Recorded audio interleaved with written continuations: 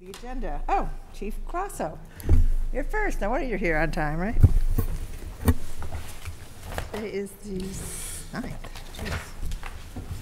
Who has fire department? That Oh, you. would, that would be I. Uh, I had an opportunity to meet with um, Chief Crosso, go over his budget, um, and you're also going to talk about some of the items on the safety complex uh, Right, as well. in charge of. Um, You know, the only two items to to point out in- in, in the chief's budget here is in the salary line items, we've talked about uh, at a couple of our meetings. Um, We are starting to see the um, impact of the declining SAFER Grant uh, contribution, so where the town is picking up more of the cost of the salaries of the four um, staff members that were added as part of that um, uh, program there.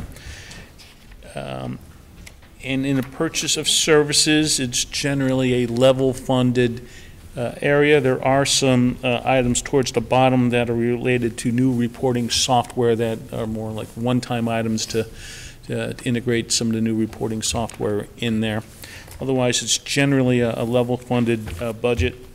Uh, Same thing on, on the uh, supply side there. There was some snow change and a one-time purchase of um, software from last year have come out. Uh, One line, out- two line items got rolled into one, uh, but other than that, it's generally a um, a level-funded budget. And with that, Chief, if there's anything that that you uh, wanted to point out? Uh, No, I'll- I'll expand a little bit further on the, uh, the SAFER grant, um, just for purposes of clarification. So the grant runs on a calendar year as opposed to a fiscal year. So we're, f- we're in year two of the grant now, which means July 1st, our, um, I'm sorry, which means January 1st next year, January 1st of '20, the uh, percentage will change from 75% grant funded to 35% grant funded. The first two years were 75%, the last year is 35%. So we'll have a half a year at 75% and a half a year at 35%. And that's, that's representative of, of the majority of the, the salary increase in addition to contractual obligations.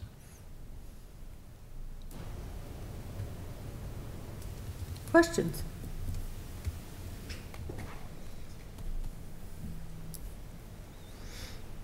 This could be a new record. A big budget like this? Oh, no, give me a second. Okay. I just got here. Apologies. Now, okay, I'll, I'll jump in then, then you, while you uh, Yeah, think about please. things. So even with the addition of four men, or people, sorry, people, employees, the overtime still go, went up. Yeah, And again, a lot of that has, that's, that's the contractual part of that. So when I do the budget for the overtime, the, the numbers went, the actual hours went down, Oh, but they go because of down. the cost increases, the numbers went up. And what year are you in your contract with the, uh, We just signed, you just signed too? uh, and it's good through June 30th, 2021. Okay. And to give Joni another second, uh, we did talk about staffing, so, uh, in, in short, you are at full staff. You may have one or two positions that, that change out, but you're, you, you don't have a, a, a host of vacancies that you're trying to fill at this point. We actually have one vac, one full-time vacancy right now that we're getting ready to fill. It was a, uh, um, it was actually one of the SAFER positions who uh, left to go to another department. I had a question earlier, when you looking to fill those positions, you know, your predecessors had a priority on making sure they were firefighter paramedics they were hiring, is that still true? So we ran into a problem with that when we had advertised uh, in July of 17. Um, When we were originally awarded the grant, we advertised in July for paramedics. We didn't get a, a good qualified pool of applicants. We advertised again in October and ran into the same situation. The Board of Selectmen agreed to relax those requirements slightly to allow me to hire EMTs with the condition that the individual would be responsible for getting his paramedic certification along with medical authorization to work as a paramedic within two years of appointment. So that's, And that's sort of what this position would be too. They'd be, EMT would be fine, but in two years you have to gain your certification as a paramedic. Correct. And there's a little nuance with this one because of the grant expiring in December of 2020, 2020. Uh, It, it may not be funded further. That'll be up to the town next year. Uh, And the individuals who are interviewing for that position have been made aware of that. So there's the potential that they could not have a job before they finish paramedic school. Follow me? Yeah, I do, I understand what you're saying. Yes. It's not general, general practice, but I do understand what you're saying. Sorry, what's not general practice? Usually when we fill a position, we don't immediately turn around and let them go. Usually they tend to stay. Well, I, I, I think that's the plan. That's the hope. Yeah. Yeah, that's the Oh, hope. okay. Sorry, I missed. No, well, he was saying, I mean, truthfully, the expectation you need to set is to the individual being hired, is that there's a potential that if the town doesn't fill your, you know, agree to fund your position, you won't have a job. Right. So he- Exactly. he's being honest up front, but the likelihood of that is pretty small based on past practices. Right. So, um, so m- my concern is with the, the SAFER people. So, um, because I know it took so long to get those, and we're, we're finally at a full-staff fire department, right? Um, What, so what happens first to the one that left with the SAFER grant? What happens with that um, replacement, right? So you had four, now you, and, and one person left. Are you allowed to fill that position now? Yes, and that person is funded through the end of the grant, just like everybody else. No- Okay, No, it- they don't get an addition, they No. don't get an extension? no. Okay, all right, so there's that. So in this case, unless you hire a paramedic, that person's gonna have to hurry up and go through certification then, before. Well, again, that's why I before the say cutoff. they, they may run out of, of time. If the, if the town decides not to fund the position, Hmm. they may still be in paramedic school after the grant expires and they don't have a job. Could, could you clarify the grant piece? Because when you say funded, are they being paid, they're only partially paid from the grant. Correct. So uh, it- I was viewing this as the, t- we as a town were funding the position, whatever the full salary is, and getting a reimbursement for a portion of that. Yep. So we were basically paying the full cost and getting a, a revenue for a portion of it coming in. Correct. Whatever the percentage And, is. and when that reimbursement declines, we're still funding the position unless we decide It has like to any. go through, it has to be approved by, by town, right? So here's my issue, right? As we found out a week or so ago with Barbara, in her forecast, you- these four people, positions, are not forecasted um, as being fully funded by the town. After, what, do- what do we have, a year and a half left? Mhm. So, you know, I've got concerns on that because, you know, kind of to Kevin's point, right, and to Mike's point, we're, f- we're getting reimbursed for these people. We're finally at full staff for the fire department. Hopefully, things are going well and you, and you're happy with the, the folks that you have. Um, The good news is that you're going to get a, hopefully another replacement for that SAFER grant. So what happens? I mean, in my mind, it would be god-awful for the town to just say, sorry, we don't have the money, right? But I got to tell you, that's what it's looking like, right? We don't have a lot of money in another year and a half's time. Um, I, I don't know what that process is in a year and a half's Yeah, time. So in my mind, I don't know why we would, if, if we find that when the SAFER grant runs out, we're a little tight on money and we have to cut back on budgets, why, why these four positions are the ones that we start with. I think we're at a position where we have um, a, a staffing level in, in the town across all departments that are contributing towards that overall budget. And, and the town administrator, board of selectmen, and, and separately the finance committee evaluates what the priorities are and, and where, where things need to be trimmed. And it- it may be in other areas, not necessarily starting with, you know, these are the last four positions and So these, I- I these are don't think different that's than how it- others. that- that- I don't think that's how it was presented. I mean, we, we were given this grant, correct me if I'm wrong, for three years. Mm-hmm. And, and the town could have said, no, because we know how much money we were going to be spending hmm. over those three years. The town very well could have said no, and then we wouldn't have got the positions. But the town said, yes, we'll do it for the, for the, for the amount of the grant, or the length of the time, term for the grant. So it makes sense, perfect sense, that these positions go before the town, whether it's the Board of Selectmen or town administrator, I don't know who, but someone has to go and say, yeah, we're gonna keep them and add them to the head count. Or they say, no, sorry, we had the grant and, and we, the life is over and bye-bye, right?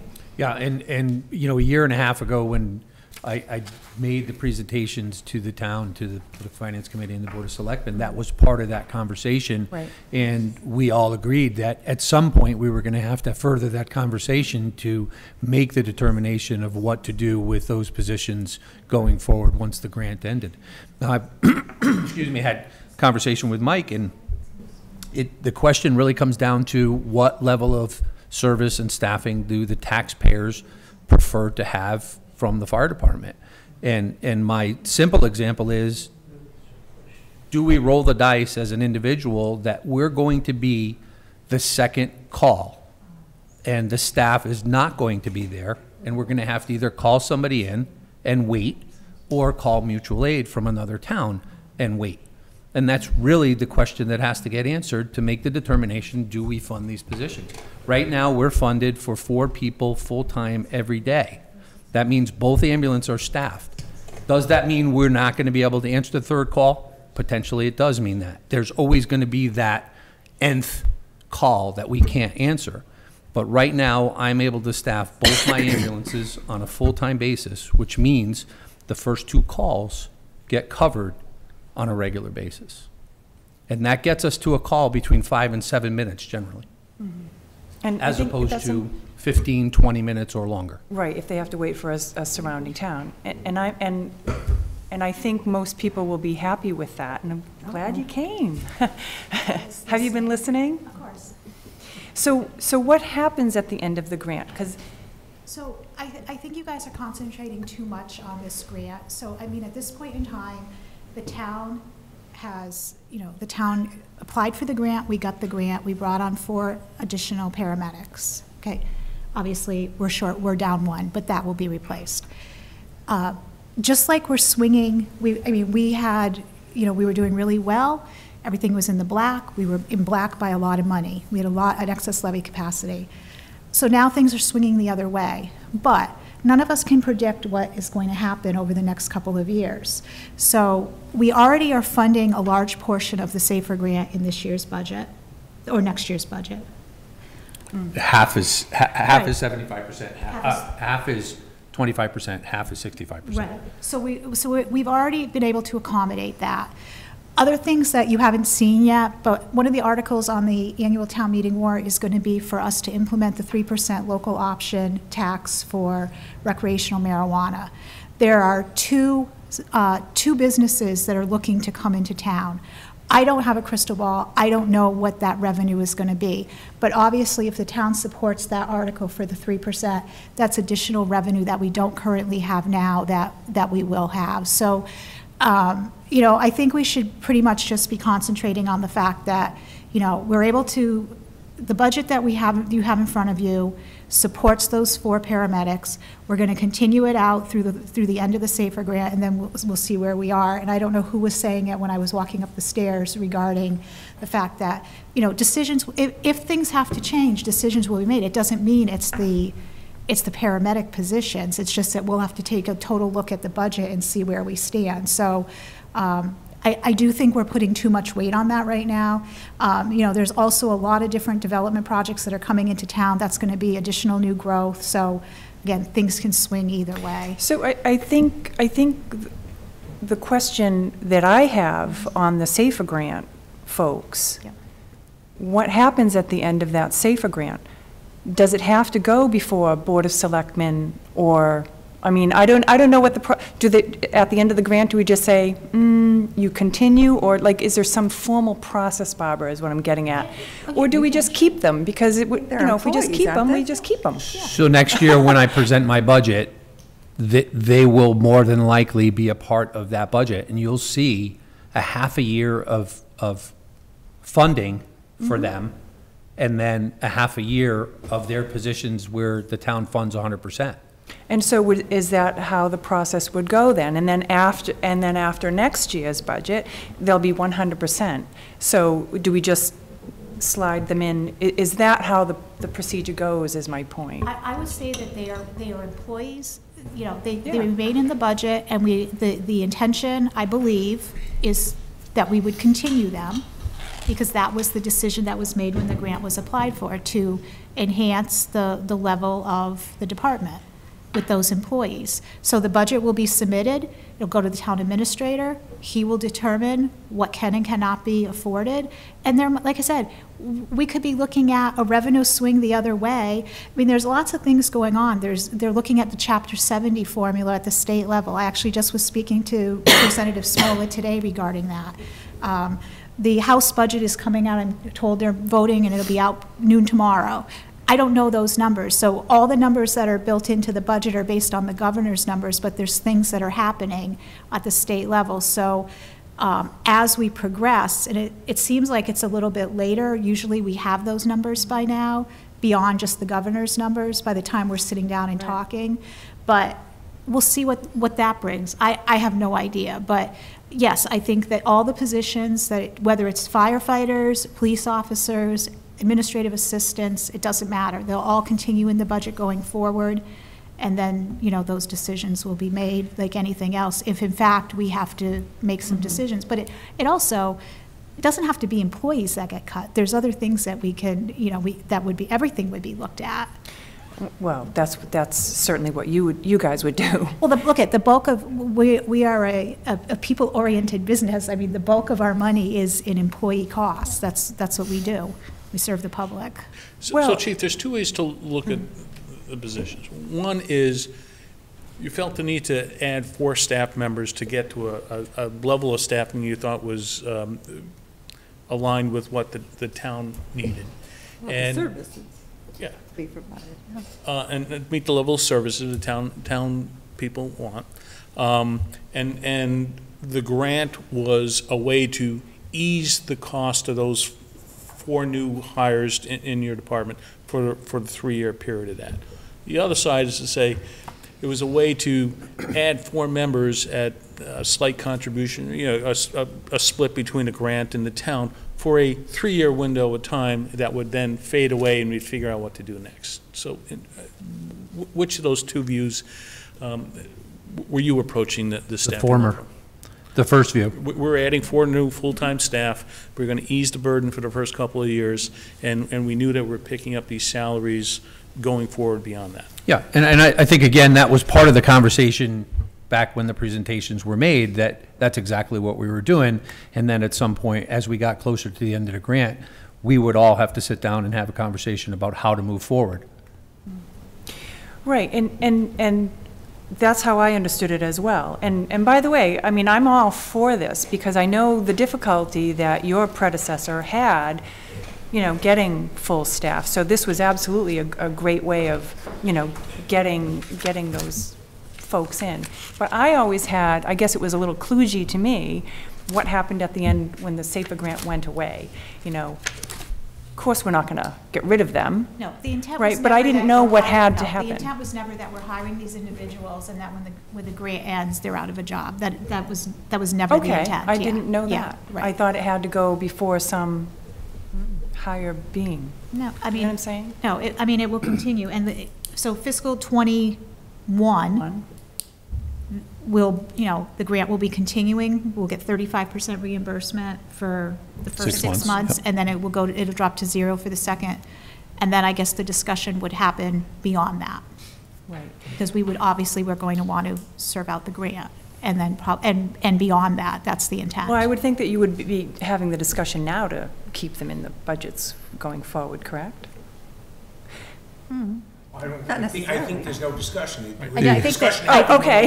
Yeah, well, when We hired them as Yeah. employees. Yeah, and right. The thing now is we just have to figure out how to fund them as the grant winds down, and when the Right. town absorbs one hundred percent of the cost, they're still employees. right, I, I think that, yeah, the- it's, we're moving forward as those positions will continue to be funded. I That, can't have the conversation because we really don't have enough information yet. This is another year and a half away. You Right. don't know about the revenue that A we might lot- have. a lot A can of change. variables.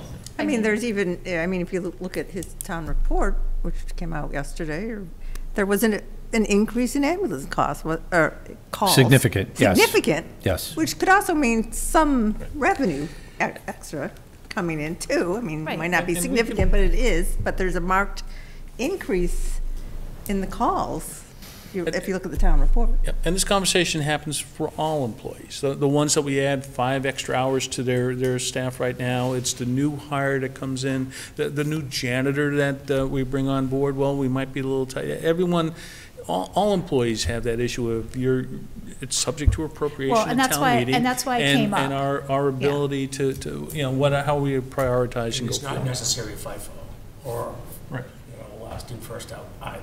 no, but I, I, I I just felt like we were, con- you're concentrating too much on these four positions, and, and that, that's not Agreed. the way it would be looked at. It would be looking at the total town So, budget. so my, and it's really not a concern, is, is making sure that they are funded beyond. Yep. Because when I asked you if they were not in the forecast, you said they weren't in the forecast. I get it, you don't know, you don't have a crystal ball. But knowing that the grant is going to go away, and knowing that we do have these four additional people, although really, they've been with us for, now- for a while now, so at some point, they're, they're no longer called additional. But we do have to fund for them going forward. do, so- Which means other things have Right. to. So when you asked me that last week, I think it was, mm-hmm. I, I did not, going, going out the five years, I did not, I- I guess maybe the way I spoke, you anticipate, or you took it as, I, we weren't funding them.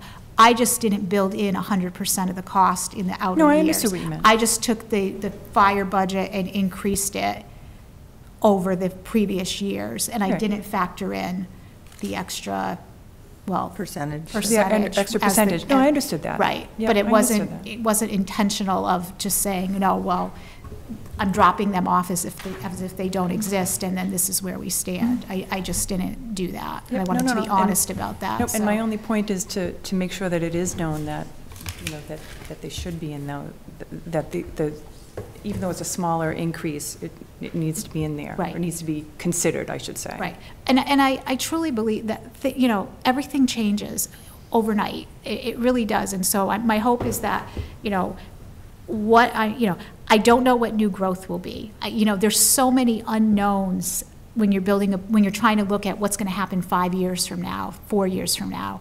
So I basically based everything, if everything stays the same, so I didn't factor in revenue from the three percent. Why? Because I don't know if it's gonna pass. If it passes, then, then we'll figure it out. But even then, I wouldn't know what that number is. In fact, there was just a bulletin th- from the DOR saying, you know, be really conservative if you're using that number, because you don't know what it's gonna be, you don't know how quickly these, these facilities are, or these businesses are gonna be built. And it goes to your point, Mike, where you asked me, you know, why, aren't- why do I not count, like, the 40B project? You asked me that one year. Well, it's been years now. It's, exactly. Why? Because we don't count it until it actually happens, because we don't know when it's gonna happen. But there's lots of other things, you know, that are happening in town that are going to increase the revenue through taxes. Um, You know, if a restaurant comes in, then we're, you know, we're getting tax revenue, we're getting meals tax. There, you know, there's so many things that, that go into the formula. And I can get a list Larry, from- from Gene of all the things that have gone through the permitting process, been approved, 40B, Dowdy Road, ma- many others. And, and you think they're coming and they have plans, but they get stalled, whatever else. So y- y- you're, you're right. There's things that we can see are on horizon, um, but we need to be cautious in when- when we put them in here. And then, once they're, they're here, you, you hope they're around for a long time. Sometimes they come on board and then they just don't work out and, you know, their valuations decline for a period. So if you're good, I'll let the chief take back. Well, Larry. Larry has a question, I don't know if that goes to Just a- ju- Just an observation. Uh, Listening to the discussion, I think there are three underpinning factors that it wouldn't hurt at all if we, uh, if we appreciated. One is the opportunity to focus on the value associated with the cost, not just the cost itself. Another is the talent to live with uncertainty. And the third is to have faith in our collective ability to figure the damn thing out. And if we do those, keep those three factors in mind, almost everything slots into it, and we make our way. Life gets lived. Yes. I have a point and a question. The, um, I just wanted to, Bar- uh, Barbara's point back up to, I mean, we've always historically been very conservative on the revenue side, not counting dollars that may occur, but something that was very def, definitive and could be counted on coming if it was in one or two years as well. And that's really helped us keep a very good fiscal position in knowing where we're going. And my second question is just for the people who aren't familiar with the fire department to you is, if we assume you hire this additional firefighter that you're seeking at this point, what is the composition of the department at this point? As far as, Well, you have one chief, six captains, so we have one chief, three lieutenants, and 10 firefighters now. and of those 10 firefighters, there's six paramedics, or is it six paramedics and is, Of the 10 firefighters, there are nine paramedics. Uh, Two of those are currently in school. So seven seven? full-fledged working paramedics, two of them in school, scheduled to graduate sometime in July. So 14 people overall. Full-time employees, correct. Thank you. Okay. I have a question, Chief. Um, Was the department funding the paramedic school for the individual that moved on? No, Oh, so it's completely on their own? correct. Okay. Any other questions on the fire department budget, that is? Well, because It- does the public safety. So, so if not, I'll make a motion that the Finance Committee recommend town meeting approve fire department budgets, uh, lines uh, 71 through 74, in the amount of $1,574,009. Second. I don't know today's date. Nine. Okay, okay. Hold on here, let me get to that. 71 to 74. Okay. Any further discussion? I, I just want to point something out for the chair and for our record-keeping purposes, that the line numbers we're referring to in here are going to change, so that it's just the line numbers as reflected in the budget package. Why are- will they be changing? Because the the very in. first line item of the whole budget up here is a salaries thing that will be considered for the Board of Selectmen, that is new. That should oh. have been line item one, I just referred to it as line item zero. Oh, I see, yeah. So I just, just, just to make sure that when we reference line items in our minutes, we're referencing to them in the budget package booklet, and not as they may be printed in the finance committee Right. report So the at minutes, town the meeting. minutes are reflecting the amounts, though, so It's just true. look at the minutes, yeah. Okay, so 71 through 74 for one million five seventy-four nine dollars. All in favor? Opposed? All right, I guess that's it. Seven, not, nine, seven to zero. One zero. And the public safety complex as well. Page 24, Page 20. 20.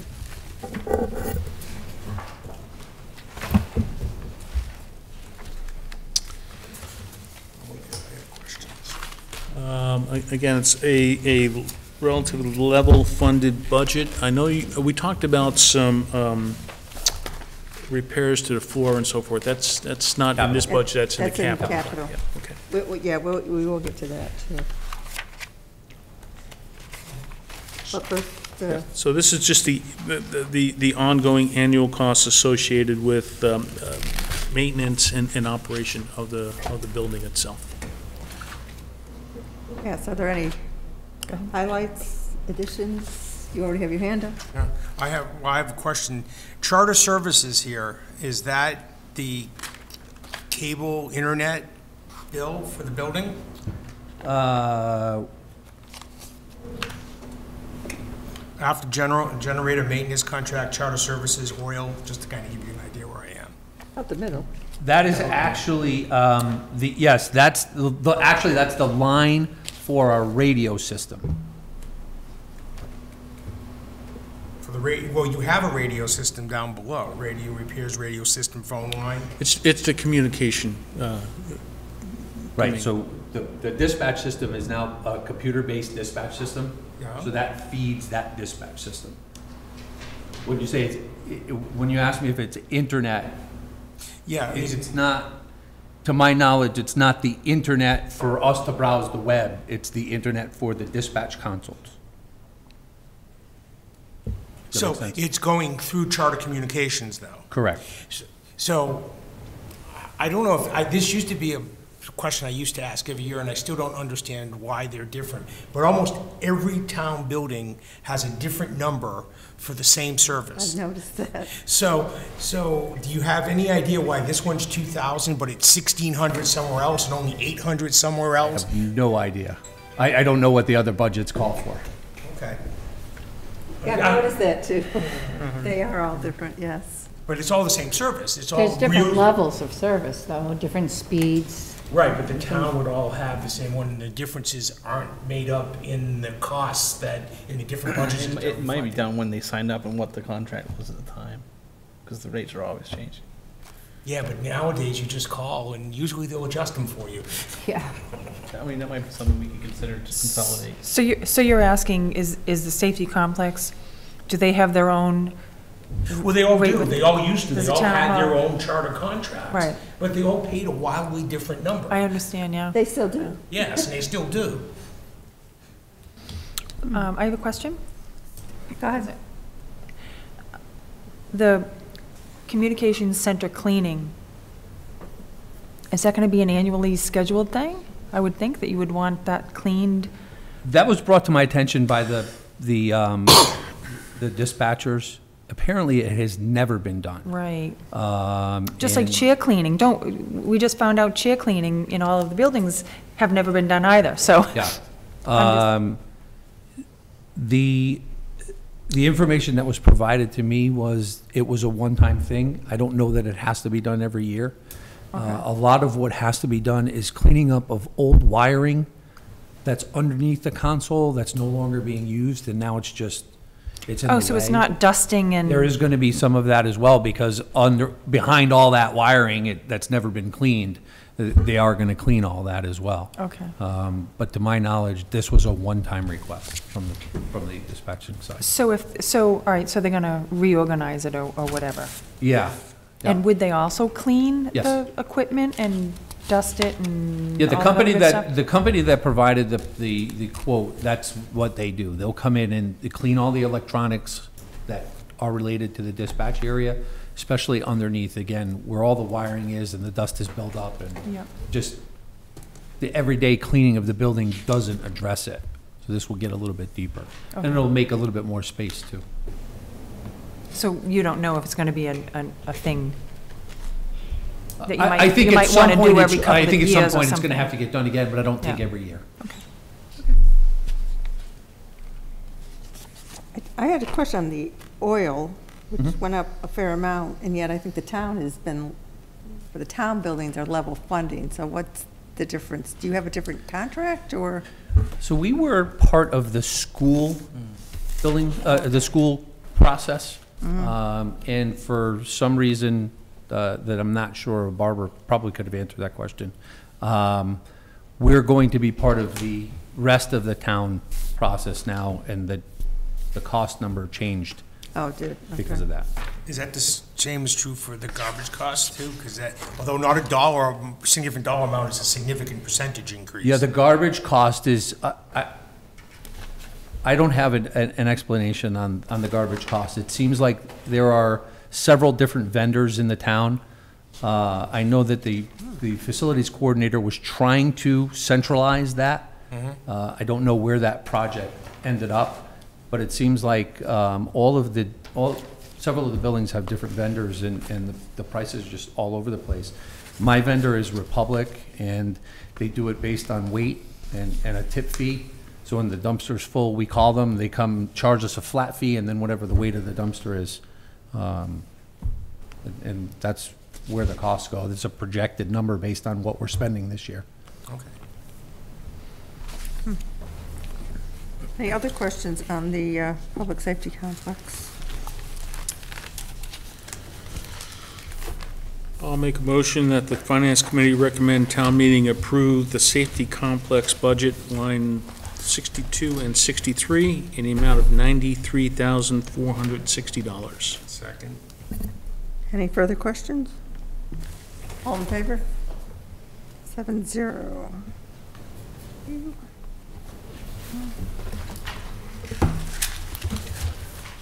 Your choice, chief, capital or betterment? Uh, I gotta have capital open. Okay. Fire capital.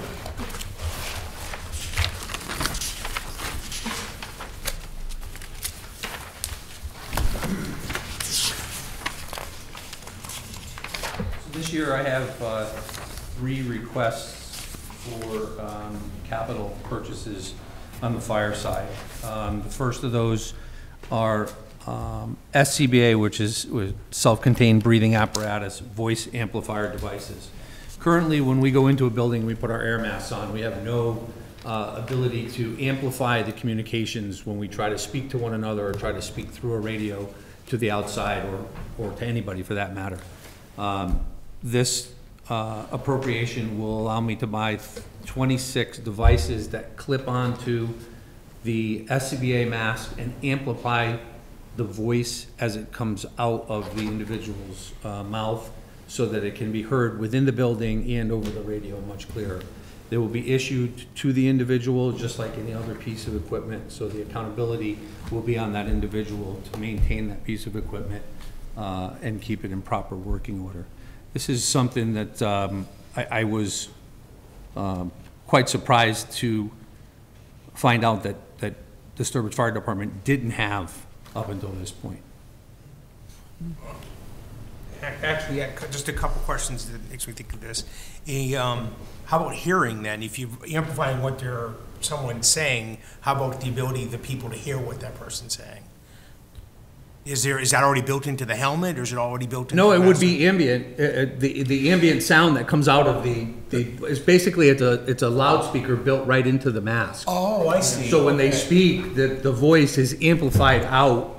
uh, Gotcha. Into the air. All So right. you would be able to hear it with your, your natural ear. All right. You- It would also theoretically improve your ability to give instructions and guidance to people who maybe you're trying to rescue. Yes, or, or the, the, the counter to that is somebody who's a firefighter who needs assistance will be able to call out for help in a much clearer way. I just, Uh, just one other question is kind of related to this. Is the actual self-contained breathing apparatuses themselves, They they're a very expensive proposition and mm-hmm. there's, well, there was discussion when I left a few years ago, I don't know what, it- that, about a replacement plan for them. Is there one in? I, I actually have it in the, the five-year plan for fiscal year twenty-four. So is that all of them at once, or do you Yes. just do, oh, so it- we're gonna have them all at once and, and there are ten or thirteen year life cycle or something like that? I believe so, yes. Yeah. Yeah, I think And There's will, a, there's a, there's a hydrostatic life on the tanks, mm-hmm. and then there's a manufacturer's life on the frame and pack itself. Okay. Sometimes those are different. Yeah. The tanks we can have retested, packs, a little bit more difficult. do the new ones have this voice amplification device as part of them, or will this I think some transfer of to the them? manufacturers are integrating them. Uh, I don't know that they're perfected enough yet. Um, There's another manufacturer who has a voice, a built-in voice uh, amplifier, um, but it, it's still kind of in its infancy. And will these devices transfer to the new masks? Yes, yeah. Tony? Um, Why do you need 26? Uh, Because I have part-time employees as well as full-time employees. So this would, this would be to issue one per firefighter. So when we went through your staffing, you, you, you, you said 10 full-time, you paused. You could have followed up with, you addi, you also have call firefighters. Correct. So your part-timers, uh, about a dozen of those, more or less, right? Correct, yeah. There's, so there's 14 career firefighters, there's 12 paid on-call firefighters. Okay, thanks, I didn't, I I missed that. Any other questions on that one? Um, The second thing I'm, I'm requesting are, um, again, for the safety of the firefighters, intrinsically safe flashlights. Currently, um, when we go into a building, we have a couple of flashlights that the individuals are able to grab kind of as a first come, first serve uh, circumstance. This would be to issue a uh, flashlight to each firefighter, um, so that when they go into a smoke-filled building or a dark building, um, these are made to withstand the temperatures that they're going to encounter, as well as um, they're made to have a more significantly brighter light than the standard Home Depot True Value type flashlight. And one assumes they're waterproof too. They are waterproof as well, yes. Any questions on those? So what do you use now? As I said, we have a few that are, are in the fire trucks, that kind of are a first come, first serve um, situation. This would uh, provide each firefighter one. And they're made to hook right on the, the outer coat of the firefighter. There's actually a loop on the coat that you hook the, the flashlight onto.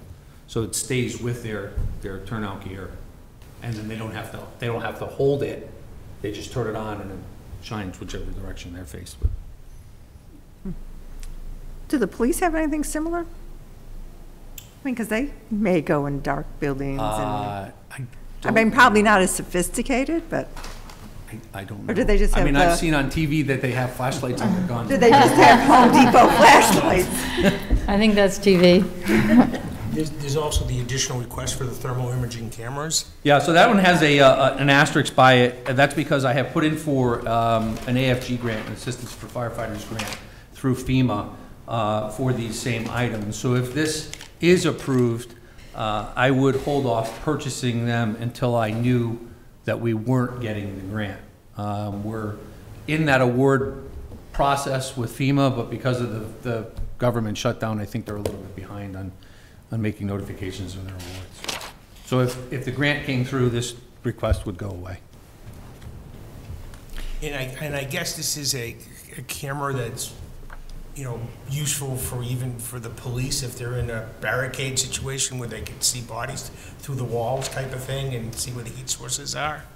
So through the walls may be a little bit difficult, but uh, certainly th- these cameras can show you the heat signature of, of, you know, a body, an individual. We use them a lot to look when we have reports of fire in the wall. We'll look to see if there's temperature changes that we can't see with the naked eye. Chimney fires are a good example of that. You know, the fire's supposed to stay in the chimney, but sometimes it gets outside, so it's, instead of tearing the wall apart and destroying a person's house, we'll use the camera to try and see if there's a heat signature up there. If there is, then we investigate it further.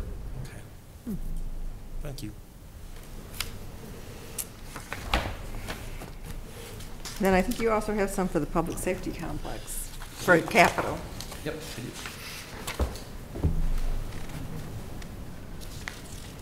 Uh, The first request was for uh, replacement of the entrance and the door trim. Uh, A few years ago, when I started, uh, there was a, apparently a- an appropriation to do some work on the front of the building, and uh, I'm I'm not quite certain what happened to that funding or what happened to that project. There was a transition to the facilities coordinators, and that work never got done. So this would be to uh, replace the front entrance door and to replace the rotting trim around the um, pillars in the front of the building and the trim along the uh, sally port, the front garage doors that faced uh, 131.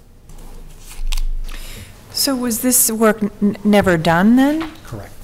So that money went back Correct. to the town? Okay, because I do remember I remember it too. very distinctly Mm-hmm. that, that that needed to get done. And I, and I looked at the door with your, with, you know, previous chief, Mm-hmm. and I could see what needed to be done. Um, To be quite honest, I'd never paid too much attention the la, the last few times I've been in the, in the safety complex, but um, the door itself needed to be repaired. Did that at least get repaired? There was some repair work done to the door. Because I know they're But it- repainted or something, I It don't know. didn't last. There was also supposed to be a new um, window put in that didn't happen. Um, Well, I'm just, I'm gonna try and find it. I'm just curious to know what the, you know, the cost was, because it seems to be right around the same cost, although I don't recall it being in the budget. So it was in his operating budget, actually. It was for $4,000. So I remember that discussion, I was new on the board, and, and you were very passionate about getting that door re- repaired. I Because it was. had gone on for a while. It needed to be fixed. And I think it came back to, they, they did a minor repair versus a replacement that's, um, I think the facility person at the time said was, it it solved the problem and fixed it, and, and it Clearly it appears not. it has done that inexpensively on a short-term basis, and we, Yes. we now need to carry forward. I, I would- I would just recommend you actually get it done before you come back next year, because Jonah's gonna be all over you, we don't wanna get- have that conversation. In conversation. a nice way. Understood. In a nice way. Understood. Look, it, you need it, you need it, right? But Uh, The next item I have is replacement of the uh, apparatus bay overhead doors and openers. Uh, These doors and openers are original to the building. Um, The, the openers are um, in significant in, in significant disrepair. Um, We're finding that uh, the parts to get, to repair them are, are becoming more and more difficult. The doors themselves um, are, uh, show a lot of signs of wear. They're no longer uh, weather uh, tight as they should be, so we're losing uh, a lot of efficiency through the doors themselves, in addition to the fact that their, their um, insulation value is not what we can get for today. So these, this appropriation would uh, provide for 10 new doors, 10 new openers, and all of the safety mechanisms that uh, would go along with those, with those doors. Uh, Chief, are we in the unenviable, we, the town, in the unenviable position of uh, having a building that n- literally never closes, that was built, I guess, around 1985 or so, Yeah, I think it was more of 87-ish, okay? That um, it's, I guess, highly unlikely of building a new building. So we'll get a new building piece by piece, 76,000, 21,000, and one day we'll have a new building. We wouldn't do that with an automobile, of course, you know, first the brakes go, and then, and then, and then. But that's why I'm wondering if we are, we, the town, are in the unenviable position of having to get a new building little by little by little. I think that's an accurate statement. Uh, Thank you. You're advocating a feasibility study, Larry? Oh, no, Well, no, no. we actually have I one of thought we those. did one. I thought we did one over there. Well, did it cost $166,900? The feasibility study? It wasn't, it probably wasn't that much. That's how much I just want to be clear. he this is needs just- to have. Just the replacement of the doors for the, where the fire apparatus is, not the two the police use up front. That's correct. So, uh, let me go back to that, because I, I would have slightly, gone in a slightly different position, although you're, you're making it sound like the buil- building's crumbling, and, and we got major repairs and doing a lot of replacements. I would have viewed this as, building's thirty years old, at, at that point, some, um, you know, high-cost dollar items tend to wear out, need, need a replacement. That will then last us, I don't think we'll be back here another twenty years, tw- thirty years for another overhead door on, on normal maintenance, even though they go up and down a lot more often than a homeowner's door, right? Sure, I, I think you could look at it that way, too. It, it's, it's the, in my opinion, the cost of keeping the building uh, in operating condition. We, we, the fe- feasibility study may say we need more space, we need a different layout, there, there may be other things that say the building doesn't quite work for us today. Uh, it, it was great for thirty years, but there are other needs pre, from driving different space needs and requirements. Building needs a little, little maintenance after about thirty years. Uh, yeah, we got to hundred thousand miles on, on the car, a couple oil changes, now we gotta replace a few things, we get through this cycle, we're good for another fifty or seventy-five thousand miles here, hopefully.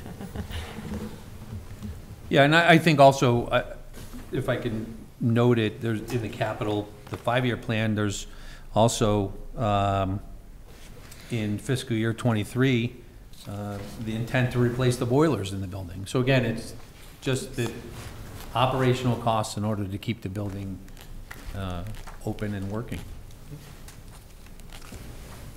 Question, just about the comment that was just asked about the police police doors, why would we not do all the doors at once? Would be facing the, I don't think the police, were- the depart- the- the- they were done not too long ago when they had to replace the whole floor and that. That's why I was just gonna make sure too, that the repair resurface apparatus for here is the fire department. Because about three or four years ago, it was a major repair to the police department one, because that one's actually up in the air. That, that, there's an empty room below where those, that, those garages, so. okay. Correct, so those doors, when we did the walk around, um, those doors did not look to be in as bad of of repair as the, uh, the front ones. I think you have one more then? Yep, the last request um, is for the um, repair and resurfacing of the apparatus floor. Uh, Again, the floor is, is original to the building.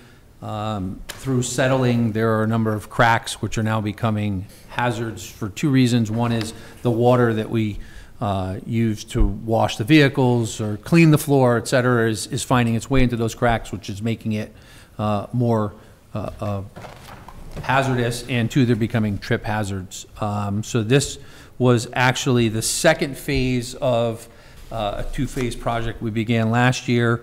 We um, corrected the electrical concerns on the apparatus floor last year.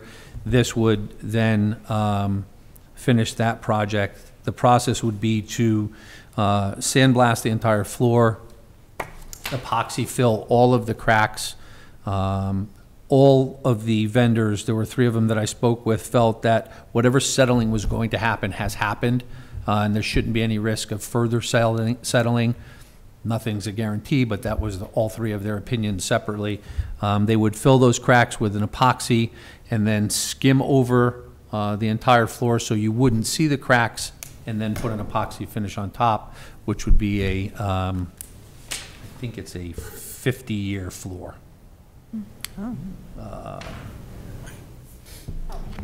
Kevin? I, I do have a question here, and I, I'm not sure I'm gonna explain myself well.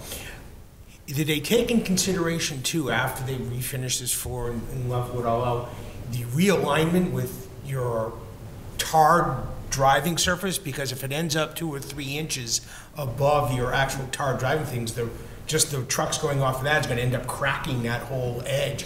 Yes, so uh, they bevel the edge. Okay. Uh, They actually put a bevel on the edge so that, to avoid that uh, potential. Anywhere where there's going to be a transition between the new floor and the old floor, or the new floor and the outside, will have a beveled edge. Okay. It'll- It reduces a trip hazard and it prevents exactly what you're suggesting.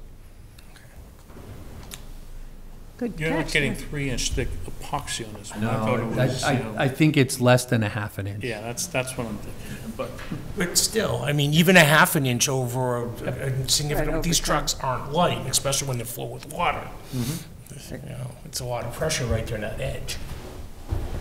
Chief, is it, It's actually one quarter of an inch, I'm sorry, it's one quarter of an inch.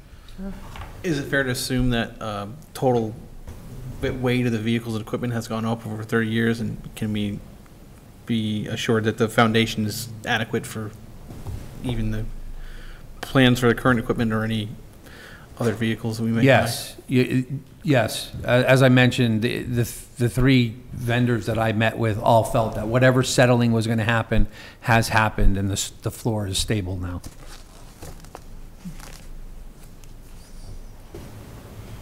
Okay, Do you want to turn to the betterment requests?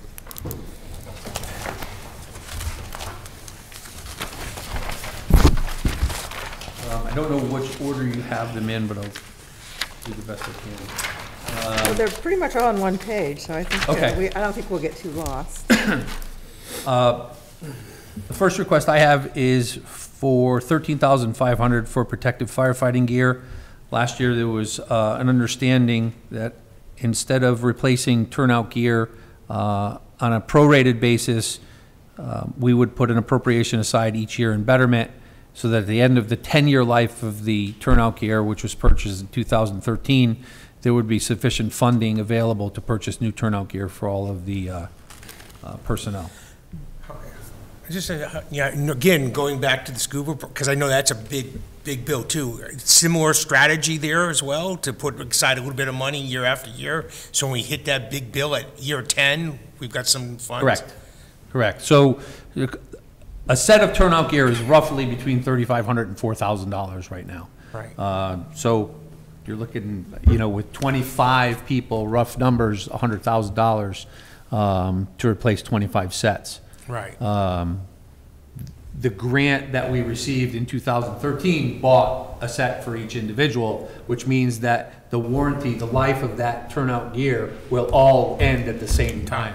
So as opposed to phasing it in over a period of time, because the question then becomes, if the gear is still good, what do we do with that still good gear?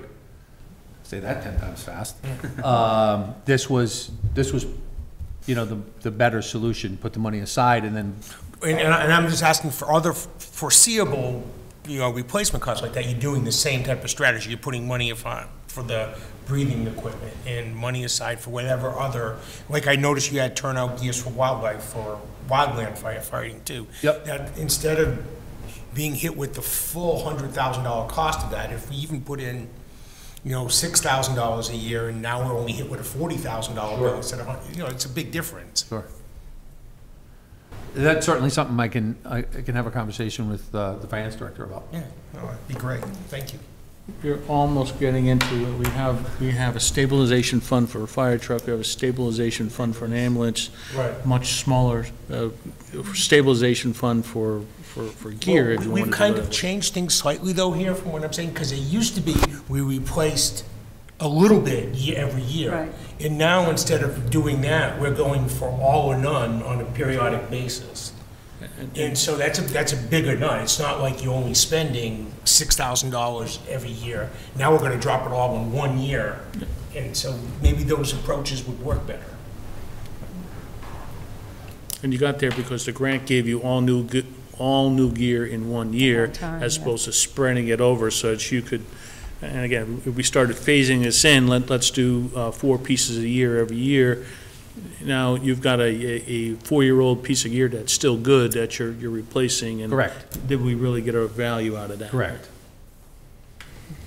So how many years now have we been doing this request for the This, firefighter? this is the second year. The second year, okay.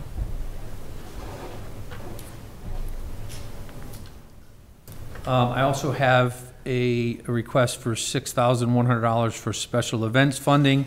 Uh, That money goes toward, um, overtime costs for, um, things like the Pan Mass Challenge, the Harvest Festival, the Christmas tree lighting, National Night Out, uh, the, um, river race and fire prevention activities that we do on an annual basis. So I guess I'd just like to point out that this kind of confirms what we heard at a prior meeting, that really this is a subsidy for the department's operations and not really a special events account. Because when the special events actually do show up in town and say, we'd like to do something this fiscal year, the- there isn't money there because it's already been allocated for something that's foreseeable. I mean, the Pan Mass Challenge happens every year. You know, there's, I don't think there was an event he, he mentioned that doesn't happen every year. And so, I, I guess I just have a, calling this special events overtime gives you a misnomer, because people think, okay, this is for that, you know, like the road race that happened last year in town. It was a one-off, you know, it wasn't planned out a year in advance. It came in, and they were hit with significant bills, and we had these quote-unquote special events overtime, but all the funds were already earmarked for regular annual expenses. Was that the road race that was put on pretty much by the town you're talking about, or a different road race? the road race that happened on, on, that was based at the thing, how did the town put most of it on? This is the one, my understanding was like they were hit with the six thousand dollar police bill that they had to pay for, and when they were looking to get, you know, said that they could get state police or other police officers from the town to volunteer their time to do that same exact service, it was turned down. So which road race was it, though? Um, I think it was in October, the Rick Hoyt, Oh, that was in September. uh, I thought that was sponsored by the town, by the Special Events Committee. um, okay. Even um, more They didn't, the interesting. Special Events Committee did not absorb all the costs. They didn't. So, Oh, I- no, I don't think that they did, but I think it was put on in conjunction with the Special Events. but I guess I just wanted to highlight that this is really what she says. These are, these are funds to provide public safety overtime for town-sponsored events. Not for people coming external. So that's, that's crystal clear, because I definitely had a misconception about how these funds were already being Well, those aren't all town events. Well, they're not Yeah, town events, but they happen year after year within Right. town, and they're foreseeable, and they've been funded by STA at some points, or parts of them, mm-hmm. all along. So is your question more, if this is funded for planned events, is there another set of funding for unplanned events? There probably is not, and that's why costs are passed on to the people who are And I, organizing and. I was of the same impression, you know, the whole, the whole betterment funding, you know, and the way it's written out, although I guess the word specific is in there, so that might, that might be a, a red flag, but I was of the impression that this was just a pot of money, so that if somebody wanted to have an event on the town common that brought in tons of people, that we'd say, okay, we need a police, um, You and know, fire an available. ambulance or And whatever. then, you know, it would come out of this, but that's not the case, because people are getting hit with big-time bills. So to pay for third it. parties who want to come in and hold an event that require police or fire support are, are, are asked to, to fund those. These are for, we're having town events or events that the town is sponsoring or participating in some way. Um, That, you know, we, we, how does the town charge itself? Well, it's using thi- this funds, this stream of money to fund the overtime versus the operating budget to fund it. If, if you didn't like it here, we'd stick it in the operating budget, and then all the, oth- it'd be pretty clear, all the other third, we don't have overtime, um, you know, separately funded, uh, and, and so the third parties have, have to pay that. So it- it's a matter I- of I how, how do you want to to fund the, the betterment-related things that are kind of part of that, that townwide, you know, uh, ac- activities and townwide, town-sponsored events, you know, such as that. This is, this, you know, it's just, I guess it's a philosophical question. This is a foreseeable annual event. It never goes away. It's part of their, their almost, they're obligated to be there every year. So it is part of their normal operations, or should be, maybe considered that. I don't know. It's, a- it's, a- it's a thing to think about.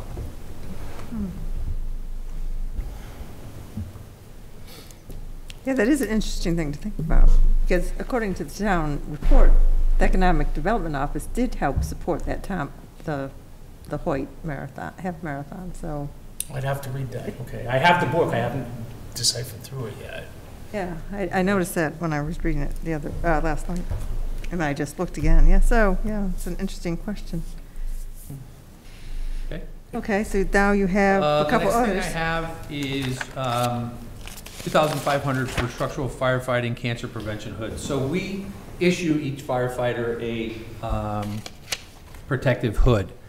The new uh, cautions from the NFPA, um, from OSHA, um, from a number, number of other um, research groups is that um, cancer in the fire service is on the rise significantly, and one of the most direct routes is through the hood because it's a permeable, it's basically, it's a, it's a piece of cloth that we put around our head, cover our ears and cover our neck. Well, the carcinogens are permeating that to getting into the neck area, and we're seeing throat cancer become prevalent in, in firefighters.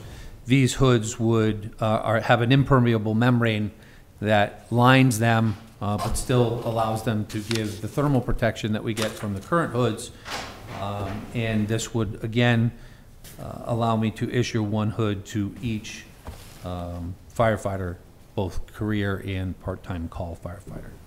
And are these washable too? like They the- are washable. In your new washer and dryer. Well, we wouldn't wash them in those. We wash our, they wash their actual uniforms in those. We have a Oh. turnout gear washer that we would wash Right, these in, okay. yes. That seems like a no-brainer. Yeah. And the final request I have from Betterment is for fourteen thousand five hundred for wildland firefighting gear. Uh, at, at some point in history, there was, uh, firefighting, wildland firefighting gear issued, and just like regular structural turnout gear, it has a specific life. Some point, that life was, that expiration life was missed. There's still a handful of, of suits left that people are wearing.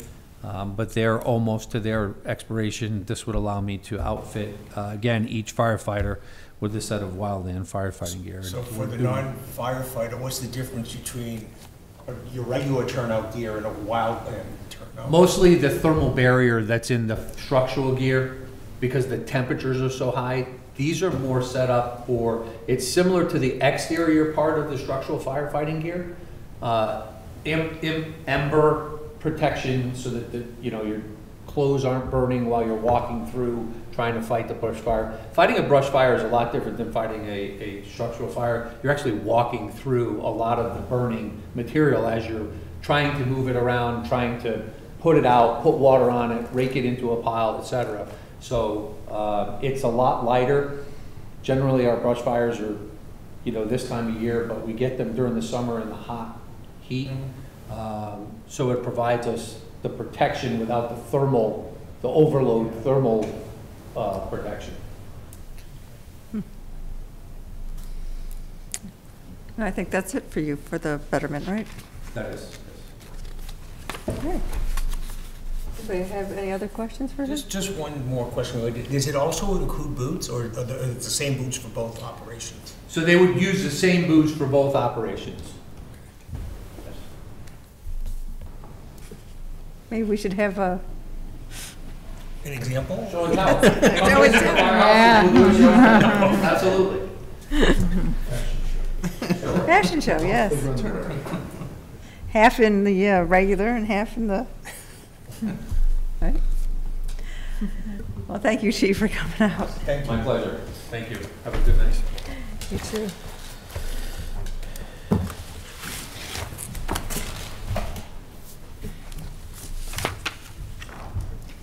They don't wash these, do they? And Heather is up next, Heather Weston from the uh, I was Senior here last Center. week. It's like coffee. Hello. It's sticky. Don't imagine you'll be quite as long. Come on. Who has the Senior Center? No.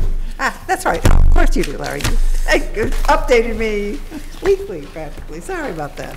I'm sure. Please turn uh, in the main tab, detailed budget, to page 34 for the Council on Aging. There are two budgets, first the council, then the senior center as a structure.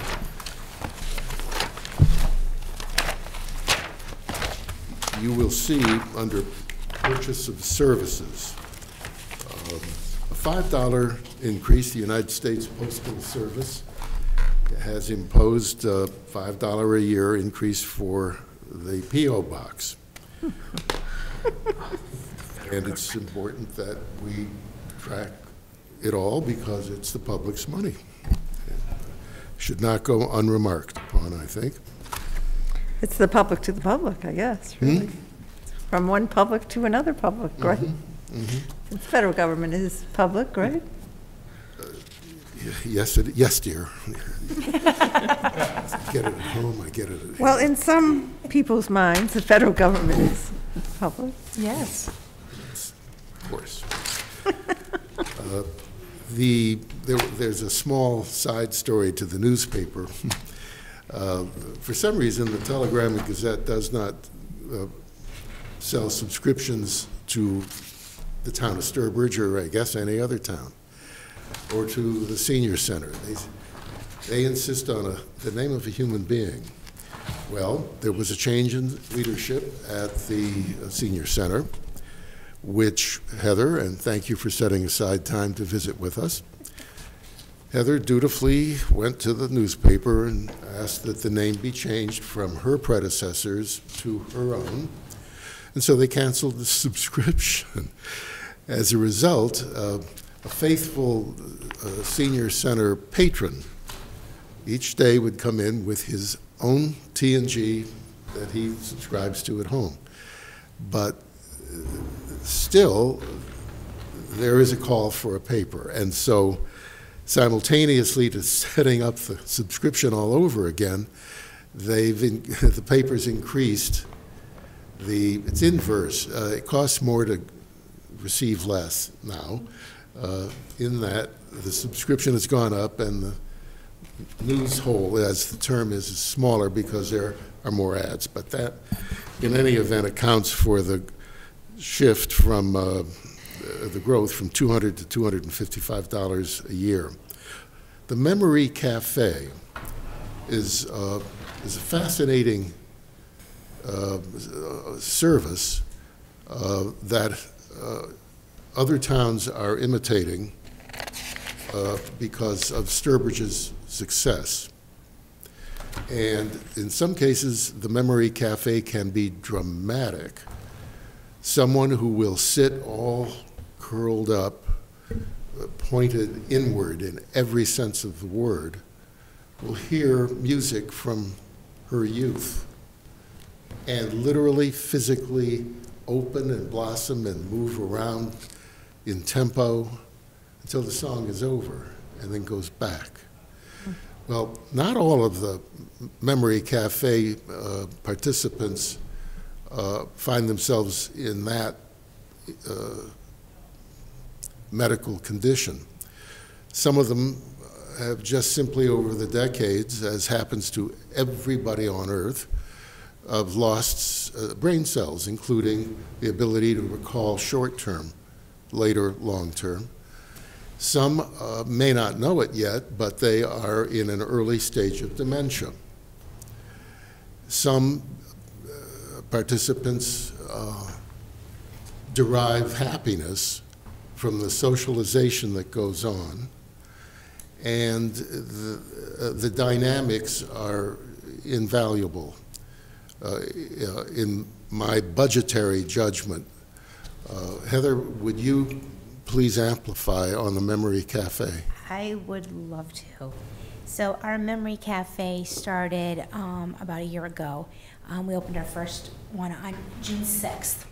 And it started out as a structure where we were focusing on dementia Alzheimer's to get people to come in and found out we really weren't reaching as many people as we thought we, sh- we would. Um, so we decided to open it further and make it accessible to more people. Um, I like to joke around and say that if you're over 40 and you ever walked into a room and you forgot where you put your keys, you might qualify. Um, but we've actually opened the door to people living with Parkinson's, autism, PTSD, um, uh, and of course dementia and um, Alzheimer's, as well as people living with other cognitive related illnesses, injuries, brain injuries, brain illnesses. And by doing so, we have significantly increased the number of participants to our cafe. Um, I brought a flyer that I'd like to hand out to all of you, um, showing you what we've been, what we are planning on doing the rest of the year for our cafe. And the great thing is, is that we have um, some private donors as well as businesses, such as the Sturbridge Rotary Club, the Lions Club, even our own police department, who have, um, who have been nice enough to sponsor one of our cafes.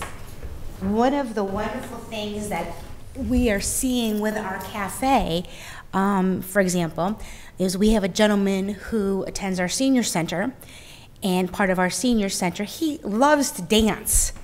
We don't do dancing in within the senior center itself. You can't just go up to somebody and start dancing with somebody. It's not really appropriate. At the cafe, he's able to dance. And he comes with his wife and they dance. And then he dances with a lot of the other participants that come. And he is just so happy. He's getting to dance. There's no judgment, no telling me can't do that. And he has so much fun. Um, another one that really gets me is we have a couple. She was diagnosed with Alzheimer's. Um, she's gotten to the point where she's can be difficult some days, and a lot of the times they come and she doesn't want to be there. She wants to leave. As soon as the music starts playing and someone starts singing, she wants to dance with her husband, and to see her look in his eyes and the love and the devotion.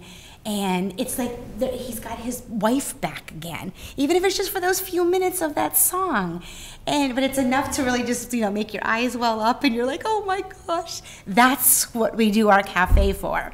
And we're just starting to see those little things happening more and more and more, and we're reaching more and more people. And it's just, and that's what we're all about. That's what it's about. So, and that's, I guess that's the best way for me to describe what our cafe is doing. Thank you, Heather. Uh, You'll find uh, in that same section, uh, supplies, uh, office supplies, which in the, well, the, this year, which is from a budget standpoint last year, a $1,500 item, uh, the director uh, requested 2,000, the acting town administrator uh, proposes 1,700. The increase, whatever that amount may turn out to be, covers the presence now of, or soon, of the Veterans Agent, as well as what is called the SHINE uh, agent. SHINE, I think, is an acronym. Yes. Do you recall offhand? If you hadn't asked me, yes, I Yeah, it's, it- it- It's it's, for insurance. It's, the- it's, um, it's a volunteer that comes in and goes over insurance and helps, um, people with their insurance, acquiring new insurance, Certain- changing insurances. and certain financial Yes, difficulties. Yes. Can even turn into conversations about how to beware of scams. Uh, Often uh, elders, particularly living alone, need to talk to somebody. Well, that's what happens when the phone rings, and there's this voice. Well, you have to try to help people safeguard themselves against that. But there are budgetary costs proposed as a growth of 500 uh, initially, and you can see it's before you. Uh, The other figures are, So Larry, I'm sorry, I want you to clarify that a little bit. I'm a little confused. You, you're talking, these are people that provide services, the SHINE services and the vets agent. W- Wouldn't that be in salaries and not in office supplies? And is, is that why the salaries are going up by five thousand dollars? no, the, um, the volun, the, the person that does the SHINE and the person that does our veterans agent, um, it's voluntarily, voluntarily that they're coming in to do it. So they do this on a volunteer basis, so there's no pay to them. But they are coming in and they are using our ink, our paper, our supplies. They're, you know, and they're getting more and more and more activities that they're doing to help people, and they're getting busier and busier, so they're seeing more and more people, which is again using up our supplies, our paper, our ink. All right, thank So. there are, Yeah. even, even now, still, they're in their 90s. Yeah. But World War II veterans, uh, somewhat younger Korean, No, no, I'm, now I get, now now I understand what's happening. So, uh, in the more hours our veteran agent or SHINE person puts in, the more paper Paper. and ink and stuff that they're using. But you can't ask them to pay for it. They're volunteering to do this for us and for our, you know, for our senior population. The rest of the figures are either level or modestly increased from without the town, not within. Uh, A membership uh, uh, organization just increases its dues, for example. Uh, And that's why you see a $75 increase under other charges. Uh, Altogether, uh, it is, uh, the the budget for the Council on Aging as, uh, is before you. Um, Uh, just- When we spoke uh, yesterday, I neglected, uh, and I mentioned that because you may not know, sitting there, the answer offhand. Okay. Uh, But I neglected to ask um, if you know the number of unduplicated participants, uh, that is counting every person only, and then altogether, the number of visits that those people make. So one person may come once a year, one person may come 200 times a year. Do you know those numbers? I do not know the numbers off the top of my head. Okay, well- I wouldn't even want to guess. Oh, All right, well, uh, it- uh, don't feel please dinged. I failed to ask you yesterday about that, and you would have presumably been able. I would be more than Yeah. happy to look into that and get back to you, though, if you'd like me to. If, if you would, please, I, I- I don't think the committee sees it as a contingency to a motion on the budget, but knowing is better than not knowing. Yep. Yeah, that would be interesting, very much the, the total number versus the total distinct number of Sure. people. Yes, of it. Now, the salary increase is noted in the front of the book that the hours of the outreach coordinator were increased by 60 hours per week, Per week? to, or per year, sorry. And that's really for the fuel assistance time to help Correct. in that time period, yeah. Correct. During not the even for the whole timeframe- year, it's yeah, just during a the certain timeframe for the timeframe. fuel assistance, the outreach coordinator is out straight with that. So that's, uh, Those that. 60 hours would be for during that time frame.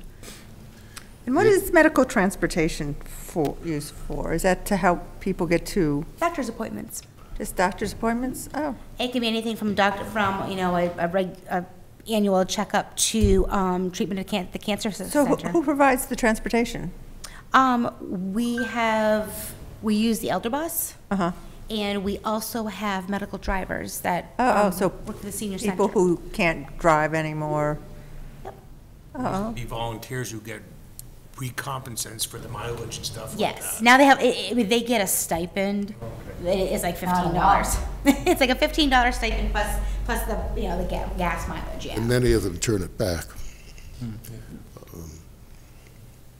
Yeah, because I, you know, I, I hear of people who need rides. It seems like one of my friends always gets to bring these people. And So I didn't realize, I, I'd forgotten I, uh, that was available. I should have remembered that. If the committee is ready, we can turn to the senior center building on page 18 in the same section. Under purchase of services, you will see that um, uh, the fee for elevator maintenance has gone up um, modestly, $25. Electricity, as we know, is zeroed out here as elsewhere because it's centralized. Um, And uh, fuel oil, and, well, you can go really right down the line and see that uh, in almost every instance, it is uh, a vendor or some other non-town supplier uh, where if there is an increase, it comes from them, not from uh, a claim for more money from within the town. You will see in the case of um, basement floor repair, a one-time uh, expenditure of 750, there's now a hazard that some tiles are uh, curling up, and uh, it, easy to trip, and you have osteoporotic individuals, or even not uh, uh, uh, suffering osteopenia. They, anybody can trip and fall. Well, that's just got to get fixed, and that's a one-time expenditure. Um, eh, um, Interior, exterior maintenance? Yeah, what, what is that? I'm sorry? The what? $4,000 for the interior and exterior maintenance, that seems to be new? Yeah, seems to be. Yes, uh, we So I discussed that. looked, I I Yeah, looked into please do that to find talk out. that, um, yeah. So the facilities coordinator that was here recently, and now she's not here with us, um, but when she was here, she had come up with the four thousand dollar figure based on, um, things that have come up over the past year that we needed to fix, and we did not have money set aside for fixing them. So she had come up with the four thousand dollars um, in case of unforeseen emergencies and issues coming up with the building that we may need to have. Could you give you an example of when you said you had one this year? Um, we had a pipe break in the basement and it flooded, and that was quite a fun pickup we had to do. So we, we discussed this for at least two other buildings. It may have been center office, may have been here. Uh, so there, th- th- this is not unique to the senior center. We, we've approved these when we reviewed other building budgets. Uh, Again, for the same logic that there, there's normal maintenance wear and tear that goes on there. We don't specifically have a line item for that. Just put it in there in case there's some level of maintenance that comes up with those, tho- those uh, buildings throughout the year. There's, there's money in a bu- budget, we don't need reserve fund transfers or squeeze it out of s- uh, some other bucket there. Do you happen to know what that totals? Because I mustn't have been here for the other buildings that were considered. Well, let's see. No, I'm talking in the entire budget. I I think there, were- I think there was only $44,000 like, each. like three of them that I remember, each, each being four thousand dollars each. There is, in the case of uh, under purchase of services, alarm monitoring, an increase from 1,000 to 1,410. Here's what's behind that uh, increase. The now former facilities manager, who transferred to another department, I think she is a dispatcher now, or a dispatcher in training. In any event, uh, doing due diligence was comparing the deli- the delivery of services from various vendors with what the contract called for, and discovered in this specific instance of alarm monitoring that the service delivered was not complete as called for in the contract. At the same time, the gap was not being charged for, meaning th- that portion of the required delivery of service, contractually required delivery of service, was charged for, but there was services to be done that weren't done and also were not charged for. Well, when the vendor was uh, required to live up to the contract, and deliver all of the services, and thereby start charging for all of the services, the result was an increase year to year of uh, $410. There is, I think, one other such item with the same, the pest exactly the same history. Yep, pest control, Yes, thank you. Yep. same, same concept, yep. So subject to questions or comments by the committee, and anything uh, Heather may have in mind, that completes the review as I understand it. Let me just circle back to Kevin's question. Uh, On, on page 16, the town hall budget, that's one where we added $4,000 for interior, exterior maintenance. Uh, Page 17, center office building, we've added $4,000 for interior, exterior maintenance. Um, The senior center It's is, just the is three, the, I, is the other one. what about the Um, library? The library has in the past had four thousand dollars in a building maintenance line item that it got increased to forty-five hundred this year. The uh, safety complex has got a repairs line item that's been level funded at eight thousand for, for several years. Um, Nursery school is, we throw a thousand dollars in there for repairs. Eight Brookfield Road has been level funded for repairs at thirteen hundred in the last several years. So it was just those three buildings where we didn't have a specific maintenance item that that was recommended we added in there. I can understand the logic behind why you'd want to do it, but this is exactly the point why we have a reserve fund. And, you know, and if you're looking for like reducing the tax burden on taxpayers, uh, you know, this type of stuff, these little nickel and diamond things really do add up when you put it into five or six, five or six departments. So, I, I, I don't know, I, I can understand why it's there, because then you don't have to come asking for money, and if it isn't, if it isn't used, then it just gets turned back to the general fund. But if it doesn't need to be collected in the first place, should it?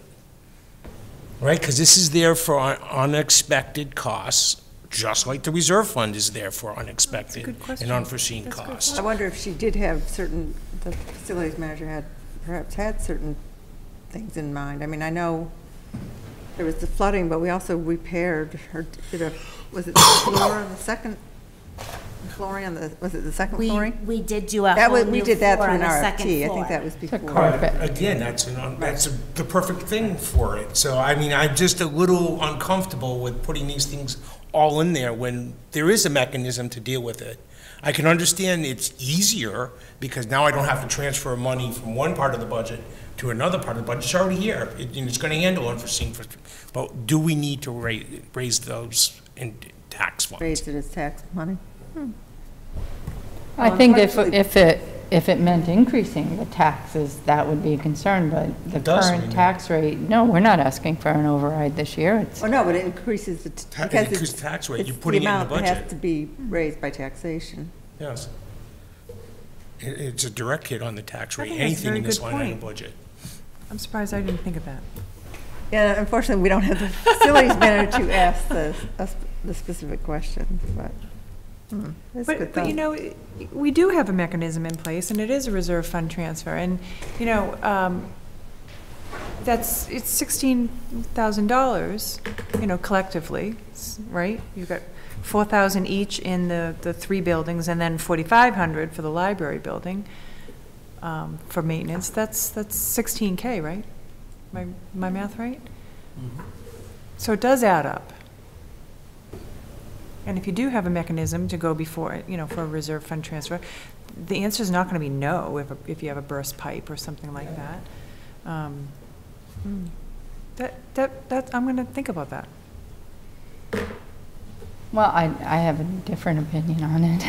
$4,000 to maintain these buildings Well, is it's not a lot of money. Sixteen thousand. No, for each building, and if you have a burst pipe and you have to have a reverse, uh, you know, go for a transfer and call a meeting, and, you know, there are situations where funds need to be available, and when you look at the totality of money that we're dealing with, 16,000 is not a lot. But in the case of a burst pipe, that'll be taken care of. There, there, there will be no waiting around. They're not gonna let it just sit there and, and, it, I mean, past practice, that's taken care of, and then we come and we get reserve fund transfer and say, you know, the situation warranted that it had to be taken care of immediately, you know, burst pipe is one extreme example, but, I mean, the, the tiles, I know there was a time when that lower floor of the senior center got flooded, and those tiles got all warped and bent up, and we did a reserve fund transfer to replace them all, all at that point in time too. So, I mean, I- I'm, I'm kind of where, where Karen is, a small amount of money. I, I think if we're, we're having buildings, even at home, you need to expect that there's going to be some unplanned but yet needed maintenance needs to take place. We we should, it should Okay. be And let's reflected just in the add, budgets. before you go, Kevin, Um, And, and I, I wouldn't want to put a burden on, well, uh, I, I need a, a a little tiny hundred dollars here or something over here to do these small little fixes to keep, keep the it's the four buildings thousand dollars, functioning. not a hundred. Uh, I I won't do it because I don't want to go through the effort of bringing that small amount for reserve fund transfer, and then things kind of get, um, you know, start falling apart, and then we have major, major expenditures that take place. And there, also, so- I think it also goes to the point of micromanaging the cost of, of writing it up, calling the meeting. There is an employee cost associated with that. I know it's not 16,000, but it is a cost. And there's also a philosophical um, side of this, that we don't need to micromanage every single repair that somebody who's in the building every single day um, that we have to have some faith that, that our, our- our department heads are making logical decisions. Kevin? My, my, that's not my point, but I guess my point is, is we're raising funds that may not be needed. So if she doesn't spend any of that four thousand dollars, we've raised someone's tax rate enough where they may not be able to afford something. Granted, it doesn't seem like a lot of money, but to someone, that extra, yeah, I- you know, rule of thumb is like every five or six thousand dollars is one penny on the tax rate. I was just going to say, it's probably pennies. Yeah, we're talking Well, pennies. But you're talking penny, and times the mill rate, and then, you know, and now, that's this budget, there's four thousand in another budget, there's four thousand in another budget, there's forty-five hundred in another budget. And Still we have one hundred and fifty-five thousand dollars set aside for unexpected consequences, unexpected things in the reserve fund. It's already set aside for anything that occurs like this. Well, we could offset that, that increase by using additional free cash, assuming it wasn't used and came back, we could take another sixteen thousand dollars from free cash to offset that, and we Offset the wouldn't be tax rate. raising it on, on the other end. There you go. Best of both worlds. You You're would not need, a- raising the you need tax a rate. warrant article to do that, though. We always bring a free cash, uh, we always have a warrant article to use some level of free cash Yeah. to offset the tax rate. Yeah. Uh, We'll see what the draft warrant has for a, a, a suggested amount right now. And we went through that last year where there's a mountain there, and then, um, between the selectmen and the finance committee, we used a higher amount because, uh, we, we had available free cash and people wanted to re- reduce Offset. the amount raised by taxation. Yeah, I mean, in some ways, it's almost, I guess, better budgeting because you're telling us what is being done. I mean, it's not specific, I, I understand that, but perhaps in years coming, It would be, and, and like Mike said, just like your house, these are not old, new buildings by any stretch of the ma- imagination, and so Yeah, your house always needs, Yeah. We every have year? the mechanism to take care of it already, and it's been there ever since we hit a million-dollar budget.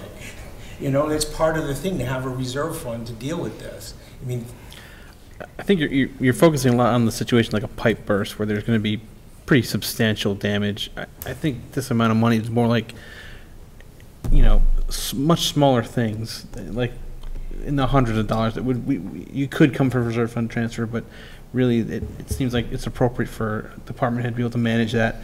And there's still going to be times when there's going to be significant ones. catastrophic I events. guess I'm using it as an example, I mean, extreme as an example, but it's more of a philosophical question. Well, I think the suggestion that we then move the money from one barrel to this would, would solve that But but you don't philosophical need to question. raise it at all. You don't need to, you don't need to put the burden on anybody. I think they're making the point that there is, it is necessary because there've been It's historical need for these sort of, you know, small, repairs. that, that add up over the year. Great discussion. I mean, we could always circle back if it's not 4,000. I, I, I think the number has to be something that's zero. If you want to have a discussion, of is, is 4,000 too high, but, but 2,000 is the right number, uh, we, we could have that. I think we've gone beyond a discussion on, on, on the uh, senior center and, and council on aging here. But I mean, Let- at the let- same time, we advocated for years for a facilities manager, and now she's trying to do a certain job. I know she's gone, but that perhaps was part of the job. So why don't we see where Larry's motion goes and, Yeah, Larry, and- why- why don't and, you uh, make your how it plays motion? out, at least as it relates to the, uh, the s- the senior center.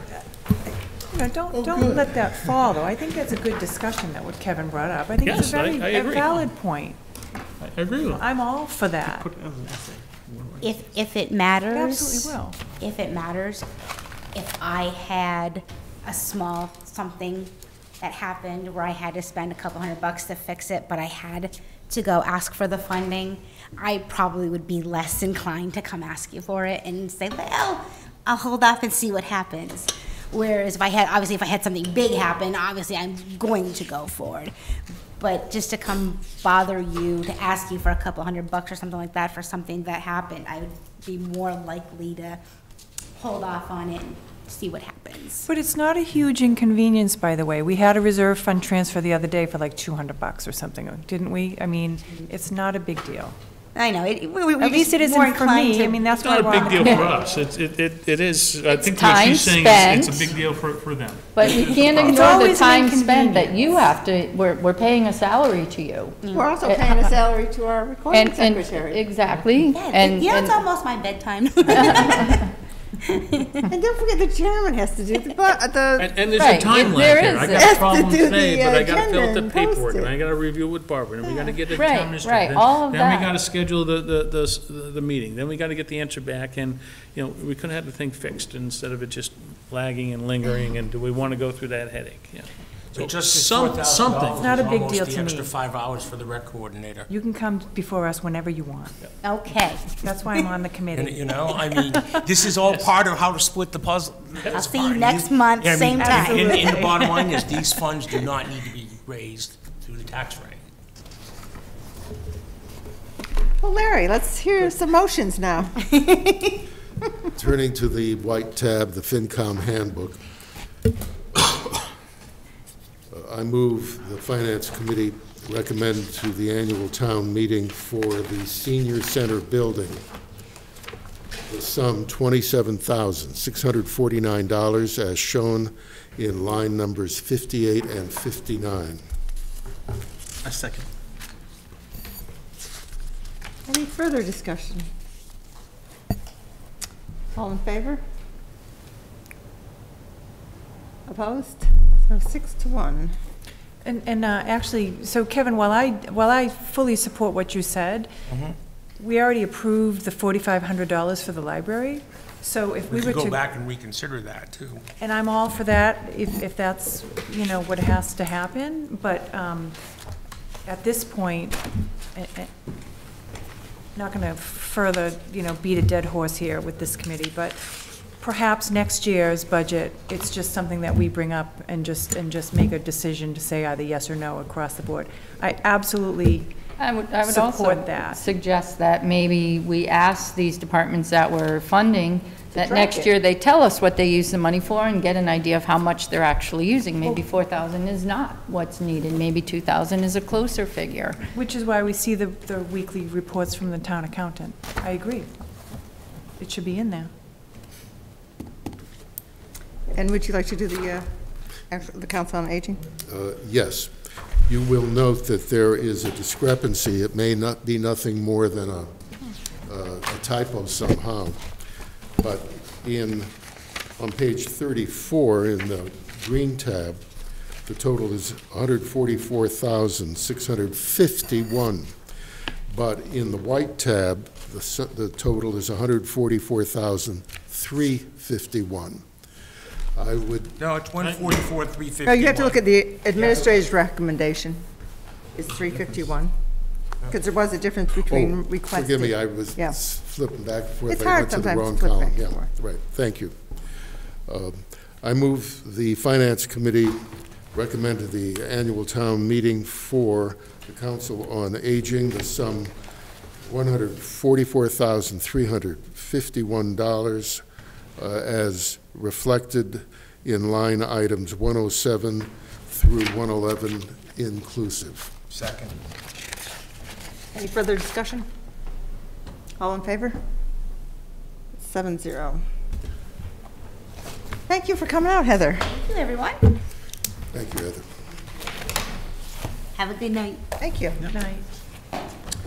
So, so, I I don't want to keep that conversation over. If someone wants to go back and check with Barbara as to where the $4,000 amounts came from, uh, if they're based on what it was, and if we want to have a discussion, uh, re- rethink some lower number, but not zero, I'm- I'm okay with that at at an upcoming meeting. Or if we want to just leave it and see where we land and make adjustments next year, we could do it that way as well. As, a- as a liaison, I'll, I'll take that. Are you me- meeting with Barbara on it? Are you her liaison? Yeah. Oh, sorry. Because I was going to say, um, I'm going to see if I can go talk with her on another subject. I'm happy to do it as well, but by, by all means. Okay, um, moving on to any other review of the FY 2020 budget. I don't know if everyone got this, it was somewhat later but I sent it out, that, um, I think it was a couple meetings ago, there was a question on um, whether the nursery school and Brookfield Road were correct. We voted the nursery school, we didn't vote uh, Brookfield Road, and it turns out that the supplies um, should be zero for Brookfield Road. We haven't voted that, so we can take that out. But the- there should be supplies of 350 in the nursery school, so we would have to reconsider and revote that. So, sorry, can, you so can you say that again? So nursery school has to be reconsidered? Right, because it didn't have the supplies of 350. They were in 8 Brookfield Road, and that's supposed to be Oh, zero. ah, We didn't right. vote Brookfield Road yet, Right. um, but we did vote um, the nursery school. So it would probably be a good idea to take care of those before we, So do you want a motion to reconsider the nursery school budget? yes, please. I will so move that. Second. Let me write all this down. Nursery school. So the nursery school is going to be 2,350. Right. So, okay, so let's do the motion, Yeah, vote on the motion to reconsider. reconsider. All in favor of reconsidering the nursery school? You know, the the motion can only be made by someone who was on the prevailing side. All right, let's see that. Okay. Oh, I think that was a, wait a minute, it was I have six to six zero. zero. I have six zero. zero So written down. everybody was. So everybody was on the prevailing side. And you can only vote if you took part in the vo- original vote. What was, No, it- what was the No, date? I once it's that's true. reconsidered, it's open to the old floor. Yeah. Can he vote on a reconsideration mode?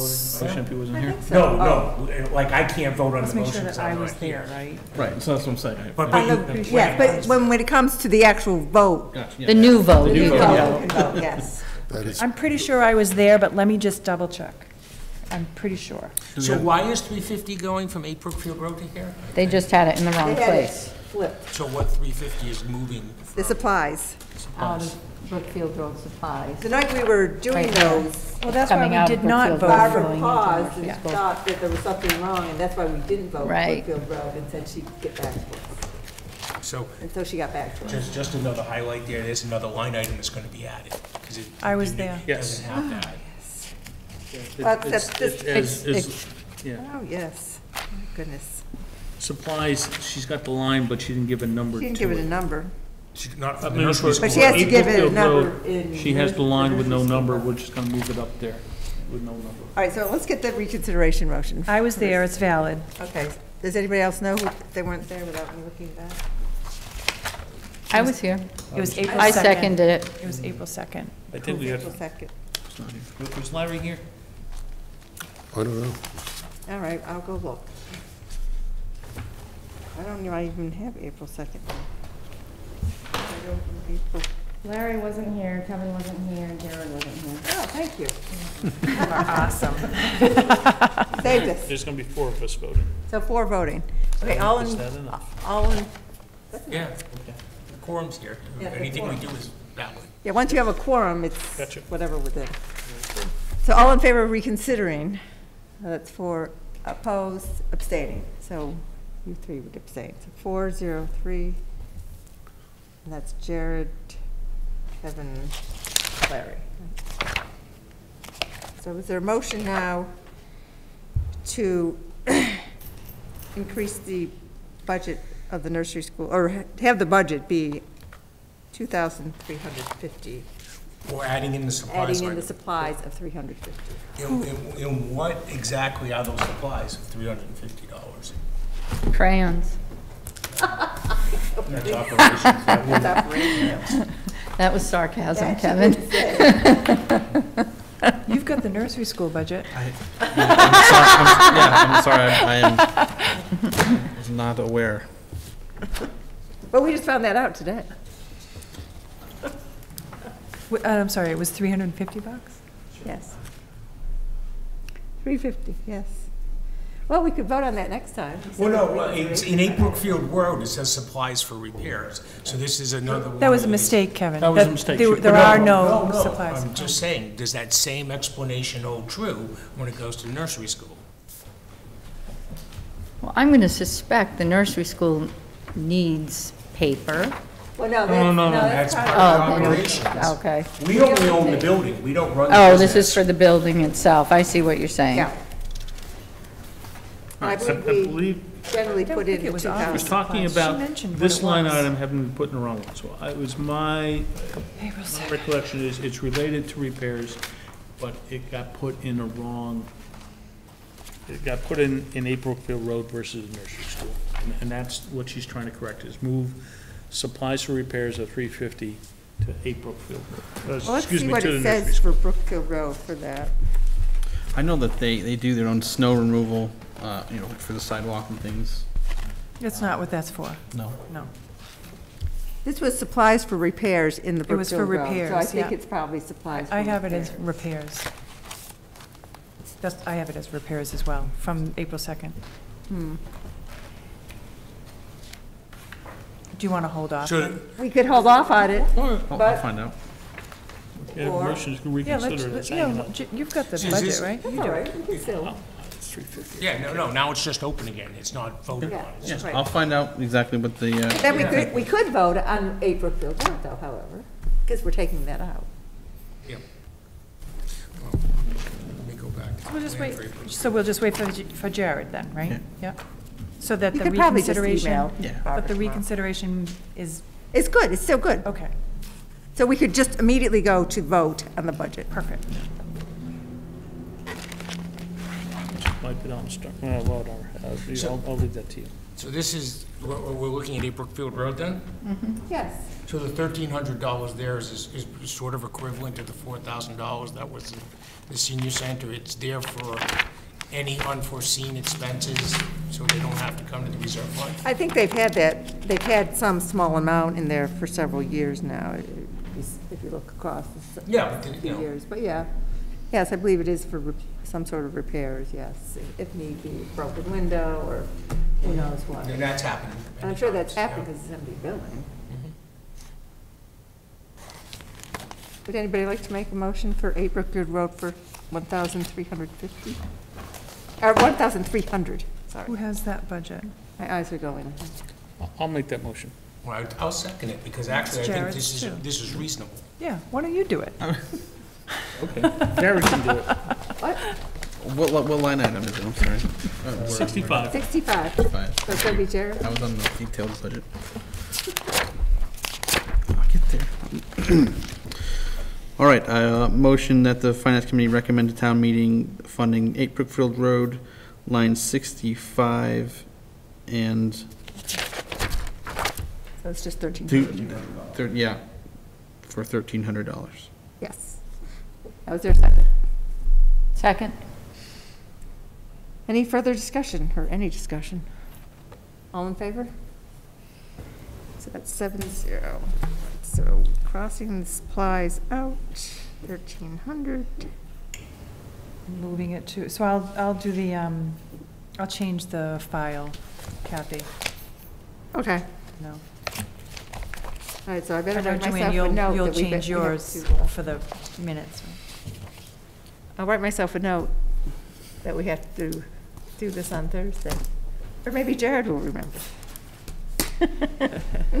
You wrote it down. Yes! Ah, anything else on the uh, 2020 budget at this point in time? I did see that you have the education scheduled for the Yes, 16th. For next Tuesday, yes. It's still up in the air where we're actually meeting. Uh, Right now, it's in conference room two, but because Which they're one's not, that? That one or that one? That one? because they're not sure if the Board of Selectmen is meeting that night. I don't know if you have You're any almost information. all- Sixteenth or not? Oh, you're not? Oh, okay, I can change it then. Yeah. Ah, because somebody told me today that they weren't sure. Yeah, I think next week's Holy Week. Well, it's, well, would Monday's. Patriots Day, so that's why it would have gotten bumped to Yeah, I Tuesday. don't think they settled on a day for the next week. Okay. Well, I can, I can change it.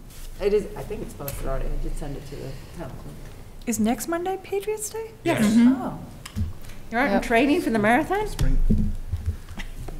And it's spring, it's school vacation week as well. that's, okay, yeah, school vacation week, right. Yeah, and it's, yeah. Okay. Sneaks up on you.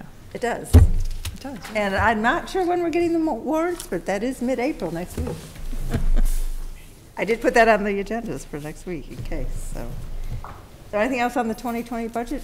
So Jeff's here. Selectmen meet They're meeting tomorrow, tomorrow on the, right? on the warrant, right? Yeah, yes. Oh, there, okay. I would expect soon. Actually, let's take a quick run-through on these budgets, Let's go. like Kevin used to do. Now we haven't done uh, economic development. Yeah, I reached out to Kevin. Is he coming before us? Well, he was going to come, I think, with the STA stuff. and- Okay. Oh, and, and police is Thursday. We don't have him scheduled yet, though. Yeah. Well, I was waiting on the warrants. And education, we haven't voted. Police is Wait, Thursday, where- right? I, where, are you starting Oh, right and at the Board of front? Health. We've done Board of Selectmen? Yep, Yes. we've done everything up to economic development. Okay, um, rec- recycling with, oh, Board of Health is coming Thursday as well, so that will get done. Up to economic development. That's Thursday as well, correct? Because I met, that's where I, okay. All right, did we do library operations? Yes. No, we didn't, because of the, You um, didn't? of the Oh, change you're right. in, Hours. um, We did not. the hours. That was you, That's right. right. Yes. So we- we gave Jeff until uh, later this week. It's the matter of uh, a coordinator. Because Jeff was also going to be looking at that, too. Uh, uh, On Thursday, I believe. Uh, That's right. Okay, all right. And otherwise, I think we have the assessors and the town administrators' budgets to do yet. No, No, we did those both. we did though. Remember, the day we weren't here, Larry. You got a lot Yep, we done. did it on 328 for the uh, administrator. You did it without moi? There was an evening where there was only five of us, and then they were going Now, the quick. 26th. Yeah, did we powered assessment. through. Hey, I think I did. we wait for no one. If we have a quorum, we go. Rock and roll, good enough. No, I think we're caught up. We circle back and discuss some items that, you know, got, got passed on night when people weren't here and didn't get a chance to weigh in. But Well, then, then that's up to them to move for reconsideration if they want to talk about it, so. So, so sorry, um, during, it looks like The ones that we just went over that are are not voted will be voted, will review Well, we Thursday. have, well, we have police and health coming Thursday, Board of and we have education coming Tuesday. Next Tuesday. So then, the, um, sorry, the economic development, are you going to wait until the warrant comes out, or do you want Well, to go it's, uh, ahead? It's, we could probably do it. Who has that? I have them. I reached out to Kevin. I'm waiting to, and Penny, I have her Well, too. that's CPC, that's We know a Right. reason why we That's can't. all warrant, yeah. Yeah. And we could probably do economic development, because basically what they did was, Right. they it put used to be fully funded by STA, and I believe they Right. just split it in half. Who has the debt service? No, I voted that. Um, okay, then I have a question. You do? I can take it up in new business if you want. Well, probably the old business. Well, no, it's under 2020 budget. We have, budget. So, I guess, uh, ju- just, uh, you know, this year, we actually, from debt service, cut revenue.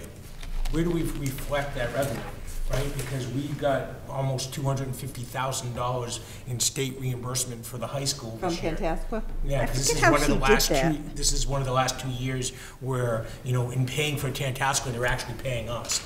So, You know, that had come up before, because I think this is about maybe the second or third year that. yeah, it's only like two or three years it happens, And I it's forget right. how she, how Barbara did that. I don't, I, I would have, maybe, I, I know it would, would look strange to reflect a negative number in here. I was just curious where it got reflected. I almost want to say it was in revenue. Yeah, but we don't show revenue in. No. Well, in the, Since that's also on liaison, I will add it to my list of questions for Barbara. I, I remember when it first came up, she wasn't, I mean, before we even got the money, she wasn't sure how she was doing it, and I don't remember now how she did it. Okay. Gee, I didn't realize you missed so many meetings, Kevin. So, I what- already missed one. so wh- when you, so that, uh, the debt services, because, uh, what, what are we getting paid for? We, we, we borrowed twenty-something million dollars twenty years ago. Yeah. In the last three years of the repayment, we're actually getting paid money back instead of paying principal. We're I think it getting- was a way that um, SBA was doing it structured. that they don't do anymore, that. Yeah, but, but, but still, But that's the way ours was structured, yes. yeah. But you're saying this doesn't happen, this isn't something that's going to happen every year? No, Oh, oh, God, no, it's no, almost, no. almost done. No, but, but it should be something I would have thought would have been reflected somewhere, because really, we're getting paid back money. So maybe it is in the revenue side of the house, and that's fine, I was I just thought I saw curious it how it was actually at being one point. reflected. I thought I saw it when I was going through revenue once. But I'm, I'm sure I can't put my hands on it right now. It's, not- you know, it's not a, any type of point to fight over, it's a point of curiosity more than anything else. Well, I don't know that I could find it off the top of my head here. Because that's also, Joni, to go to your point, that's two hundred and fifty odd thousand dollars in revenue this year, that is definitely not gonna be there next year. Right. Well, it's concerning.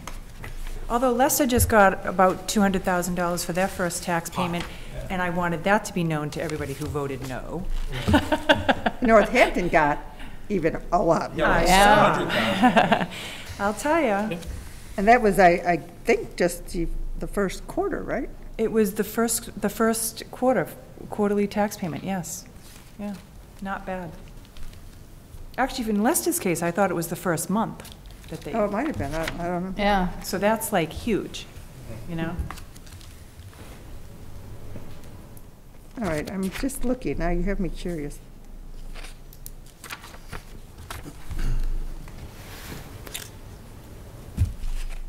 I don't know. So since that's exclusively Tantasqua, would it be in there somehow in their budget? I don't know. So, I- I- Well, usually we pay debt and out of our debt. But, yeah. I know that uh, at the Saturday meeting, you know, Barbara went through all of, you know, her thesis here. And she did mention that the, um, you know, like the, the bullet here for the education costs and how it ate up the new revenues. I wonder, would it not net out the, co- the cost in the education? Well, I'm sure we'll find out soon, because she, she's probably listening and so she'll let us know. you'll get an email tonight. But you're writing that one down too? Yep, those, well, uh, debt services revenue, where is Yeah, it see? accounted for? Yeah. Jared's gonna be working tomorrow for us. All right. Um, Snow reserve fund transfers, meeting minutes. We do have a couple. Did people have a chance to read them from last week? Anybody have a chance to read them? That's Jim's I know, job. He's sorry. the one who Where's catches Jim? everything. Yes, I read them. He's at I- the I- baseball game. Okay. Yeah, Did we win uh, today? no, Oh, we didn't? it was embarrassing. Oh, we didn't win? Oh, Oh, my gosh. You saw a very rare play. They- Toronto actually stole home. oh, no, I had to oh. watch the Man City Tottenham Spurs game. It way more important than Boston. All right, are we ready to do the, the minutes, or do you want to wait till Thursday? I haven't looked at them, so I would abs- end up abstaining. How many people have actually looked at them and are ready to go forward? I read them. You read? Mhm. You read them? No. Skip them? Can you Eric? peruse? I truly rely on Jim Oh. and Larry for the minutes. Oh, you weren't there for some. Wow. All right, we'll do them Thursday. I won't be here, but I'd say yes. Oh, that's why. Oh, now we know why. All right, I any, already let her know she did a good job. They're very thorough. all right, any new business? Old business? Gee. Remember, we've been here since six thirty, so if you think we're leaving early, we're probably early now. It's been two hours, yeah. Public access. You're the only public, so. Motion to adjourn? Second. All in favor? Eight thirty? Thank you. I'm sorry, who you say? I was.